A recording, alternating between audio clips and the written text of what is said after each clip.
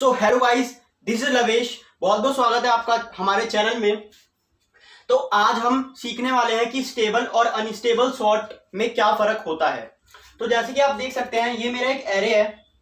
Let suppose A R R है। और जो ये एरे है, ये एक अनसॉर्टेड एरे है।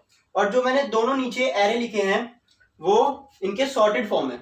सॉर्टेड फॉर्म है। ठीक है तो ये अनसॉर्टेड एरे है। हमारे पास A R R minus twenty two five three nine two eleven nine तो मैंने आप सोच रहे होंगे कि मैंने ये रेड मार्कर से क्यों लिखा है? क्योंकि ये दो बार नाइन रिपीट कर रहा है तो ये सेकंड नाइन है जो मैंने रेड मार्कर से लिखा है उसको इंडिकेट करने के लिए मैंने इसे रेड मार्कर से लिखा है और ये फ़र्स्ट नाइन जो मैंने ब्लैक मार्कर से लिखा है। तो मैंने इसे सॉर्ट करा है minus twenty two ascending order में minus twenty two two three five nine nine eleven minus twenty two two three five nine nine eleven logically ये एर, दोनों एरे सेम है। अगर हम बात करें तो ये दोनों एरे सेम हैं। पर गाइस इसमें थोड़ा सा अंतर होता है। जो अनसॉर्टेड एरे है, उसमें जब ये वाला नाइन है, जो ये वाला नाइन है मतलब ब्लैक मार्कर वाला नाइन फ़र्स्ट वाला नाइन है। मतलब जो फ़र्स्ट वाला नाइन है, वो कौन सा है? ब्लैक वाला। और जो सेकंड वाला नाइन है, वो कौन सा है? रेड वाला। और इसमें क्या है?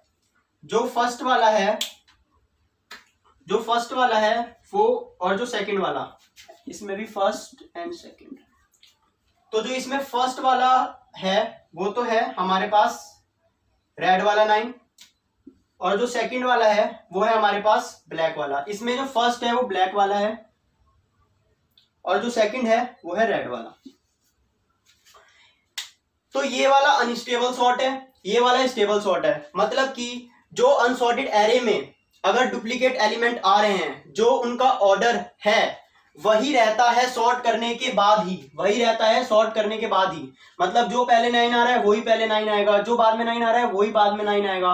मतलब जो अनसॉर्टेड पार्ट में, मैं दोबारा बोल रहा हूँ अनसॉर्टेड पार्ट में अगर डुप्लीकेट नंबर आते हैं, जैसे नाइन आ रहा है तो जो उनका ऑर्डर है, अगर वही सॉर्ट करने के बाद उनका ऑर्डर रहता है तो ऐसी एल्गोरिथम या फिर ऐसी सॉर्टिंग एल्गोरिथम को हम कहते हैं स्टेबल अगर उनका जो ऑर्डर है, वो अलग हो जाता है या फिर रिवर्स हो जाता है, जिस ऑर्डर में वो अनसॉर्टेड एरे में थे, उस ऑर्डर में नहीं है तो उसे कहते हैं हम अनस्टेबल सॉर्ट तो इसमें कुछ ज़्यादा बताने को था नहीं।